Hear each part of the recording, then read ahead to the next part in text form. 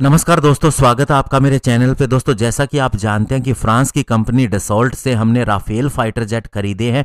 तो अभी दोस्तों, यही डसोल्ट ग्रुप इंडिया के अंदर अपनी सॉफ्टवेयर सर्विस यूनिट ऑफ़र कर रहा है, स्पेशली हमारी डिफेंस एमएसएमई के लिए एक डिजिटल ट्रायल रूम के रूप में, जहाँ दोस्तों वे अपने प्रोडक्ट को टेस्ट कर सकते हैं और ज़्यादा कॉन्ट्रैक्ट हासिल कर सकते हैं। आज इसी के ऊपर बात करेंगे। चलिए दोस्तों, शुरू करते हैं। तो दोस्तों डसोल्ट एविएशन के बारे में तो सभी जानते हैं, राफेल वाली कंपनी है। लेकिन दोस्तों, इसकी एक सब्सिडेरी कंपनी है, जिसका नाम है डसोल्ट ग्रुप। और दोस्तों, ये इंडिया के अंदर इंजीनियरिंग सॉफ्टवेयर सर्विस प्रोवाइड कर रही है। जैसे कि दोस्तों, आपने सुना होगा, माइक्रोसॉफ्ट या फिर ओरेकल करती है, और इसका एक ऑफ़िस भी है इंडिया के अंदर। और अब ये कंपनी दोस्तों, अपने सॉफ्टवेयर ऑफशोट के ज़रिए इंडिया के अंदर कदम बढ़ाना चाहती है, स्पेशली दोस्तों, आत्मनिर्भर भारत के तहत। और आत्मनिर्भर भारत के तहत डोमेस्टिक डिफेंस मैन्युफैक्चरिंग को बढ़ाने के लिए माइक्रो स्मॉल और मीडियम एंटरप्राइजेस के अंदर बहुत से कॉन्ट्रैक्ट गवर्नमेंट के द्वारा दिए जा रहे हैं। और 2020-21 के अंदर मिनिस्ट्री ऑफ़ डिफेंस इंडिया के अंदर ही सत्तर हज़ार दो सौ इक्कीस करोड़ रुपए की प्रोक्योरमेंट करने वाली है। और दस हज़ार करोड़ का एक फंड स्पेशली स्टार्टअप और एमएसएमई के लिए क्रिएट किया गया है। तो आप सोच लीजिए कि इंडिया की कंपनीज़ अब कितना आगे आने वाली हैं और उनको कितने कॉन्ट्रैक्ट मिलने वाले हैं। और डसोल्ट सिस्टम भी अब इसका फ़ायदा उठाना चाहता है। इसीलिए उसने दोस्तों जिसे वह कह रहा है, एक कॉमन शेयर्ड इंफ्रास्ट्रक्चर मॉडल जो एक इनोवेशन सेंटर की तरह होगा।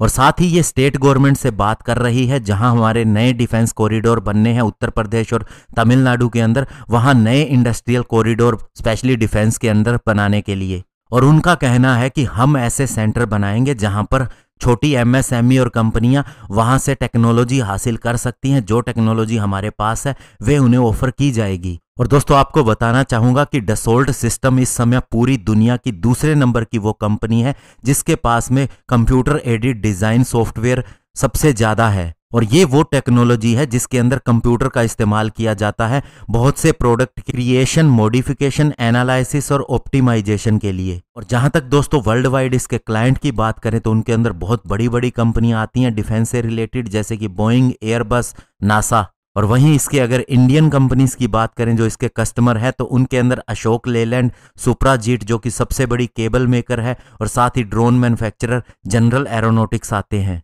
तो दोस्तों, इसका सबसे बड़ा फ़ायदा ये होगा कि जो भी नया इकोसिस्टम हमें तैयार करना है, जो एमएसएमई है, वो इतना ज़्यादा इन्वेस्ट नहीं कर सकती बहुत सी चीज़ों के लिए और अब ये कंपनी उन्हें सीधा सोल्यूशन देने वाली है।